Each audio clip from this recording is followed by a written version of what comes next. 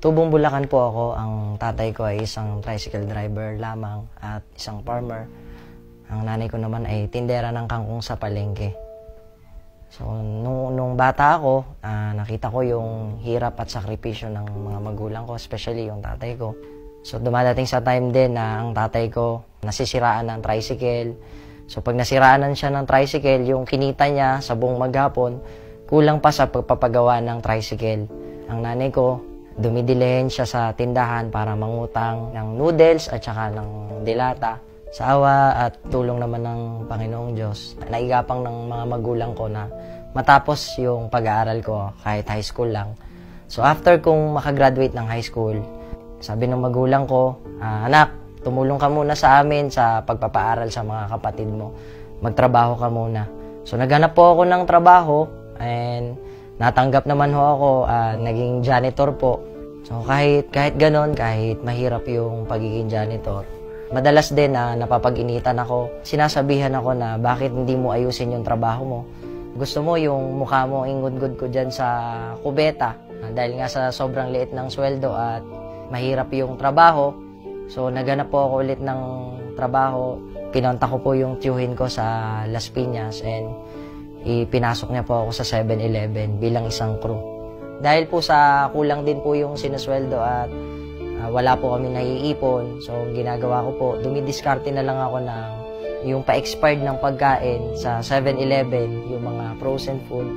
Yun po yung kinakain ko para lang po makaipon ako at makatipid, makapagpadala sa amin. Pero napansin ko yung yung kinikita ko sa 7-Eleven is kulang na kulang. So that's why timing naman na yung kababata ko na tambay. Lagi akong kinukulit, ah, tawag ng tawag. Meron daw siya sa akin isi-share na opportunity na yayaman kami. Kaya so nga lang, hindi ako naniniwala kasi nga, ah, tambay yung kaibigan ko eh. So kaya hindi ako basta naniniwala. And sa sobrang kulit niya, dumating sa time na pinapatayan ko na siya ng cellphone. Hanggang sa ah, pag-out ko sa trabaho, nandoon na siya sa harap ng store namin.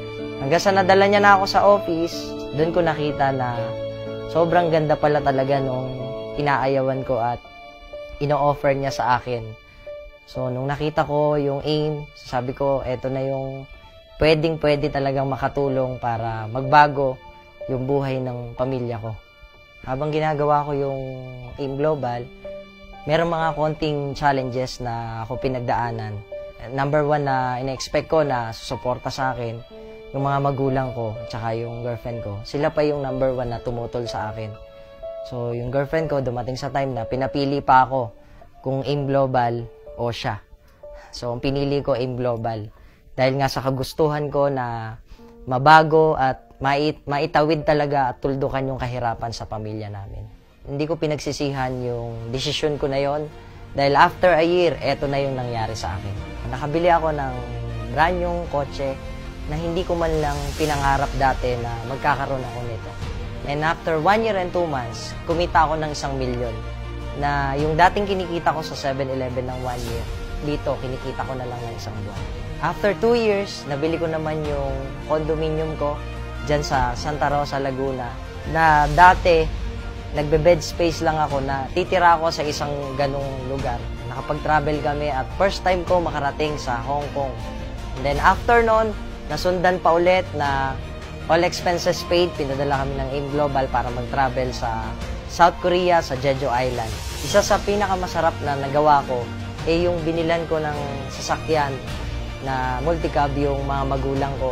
Marami nang nagkaroon ng resulta sa ilalim ko at marami na ding nagkakotse, nagkaroon ng sasakyan. At alam na alam ko, marami pang susunod na magkakaroon ng sasakyan at magiging milyonaryo under ng organization.